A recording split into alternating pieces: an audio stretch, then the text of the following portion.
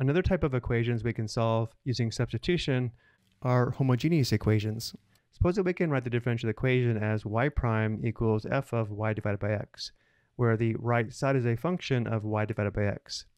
If the equation fits this form, we have a homogeneous equation that can be solved using substitution.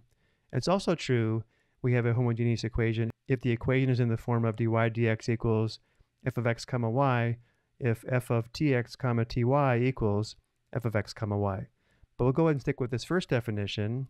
So if an equation fits this form, then we let v equal y divided by x. And if v is equal to y divided by x, y is equal to v times x, which we need to find y prime. To find y prime, we differentiate both sides of the equation with respect to x, shown here in blue, which gives us y prime equals, on the right, to differentiate v times x with respect to x, we apply the product rule with the chain rule, which gives us v times 1 plus x times v prime, or just v plus x times v prime. Using these two equations to perform substitution, the result will be a separable differential equation.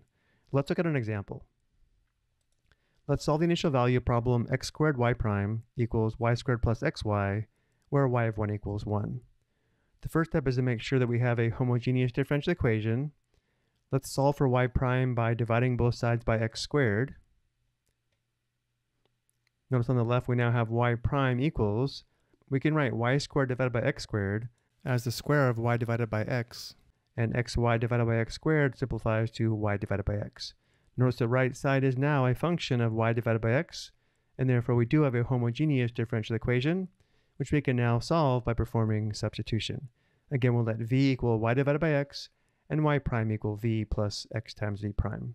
And the result will be a separable differential equation. Let's continue on the next slide. We left off with y prime equals the square of y divided by x plus y divided by x. Performing substitution, y prime is equal to v plus x times v prime, and y divided by x is equal to v, giving us v squared plus v on the right. Next, we will subtract v on both sides, which gives us x times v prime equals just v squared. We know v prime is equal to dv dx, Notice we do have a separable differential equation. We need all the v's on the left and the x's on the right. So we multiply both sides by 1 over v squared, and multiply both sides by 1 over x, and also multiply both sides by dx. The result is 1 divided by v squared dv equals 1 divided by x dx. And now we integrate both sides of the equation. On the left, the indefinite integral of v to the power of negative 2 with respect to v is equal to v to the power of negative 1 divided by negative 1, or negative v to the power of negative 1. We'll put the constant on the right. On the right, we have the indefinite integral of 1 divided by x dx, which gives us natural log epsilon of x plus c.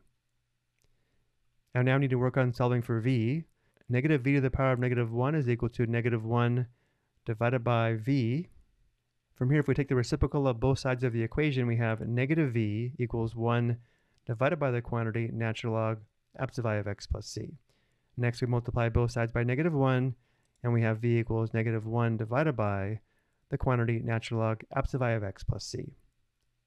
Before we determine the constant c, though, we need to write the equation back in terms of x and y.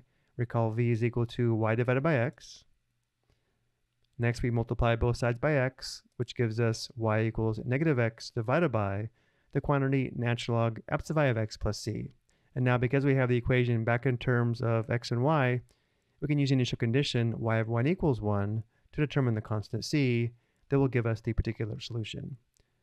We substitute 1 for x and 1 for y, which gives us 1 equals negative 1 divided by the quantity natural log 1 plus c.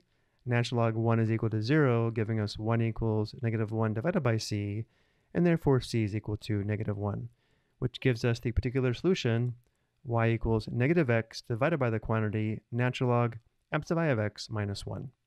I hope you found this helpful.